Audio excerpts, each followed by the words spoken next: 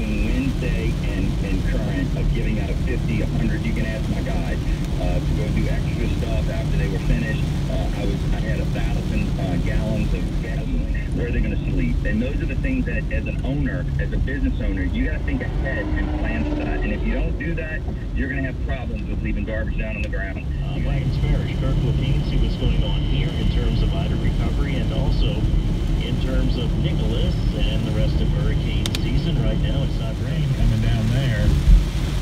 Your local weather expert, WWL TV meteorologist Michelle Morgan says this is the pattern we're going to be dealing with. Tropical depression, Nicholas, will pose an issue for us today and tomorrow.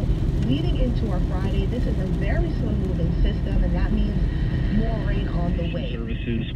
But he says that call has gone largely unanswered. IV Waste has been able to pick up and help out in a couple of New Orleans neighborhoods where the garbage still sits and festers. yes to as a state. We said yes to science. We said yes to vaccines. We said yes to ending this pandemic. Tensions are high on the Korean peninsula after dueling ballistic missile tests within hours of each other. They're in personal use, and my daughter had consumed half of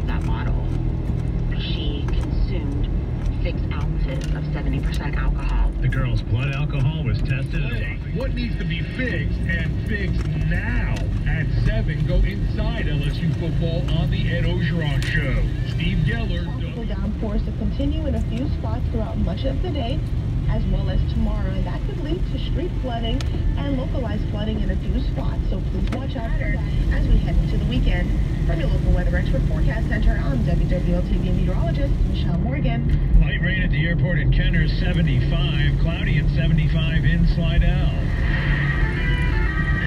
WWL traffic. From the Acadian Windows and Siding WWL Traffic Center, I'm Joshua Dowse driving in from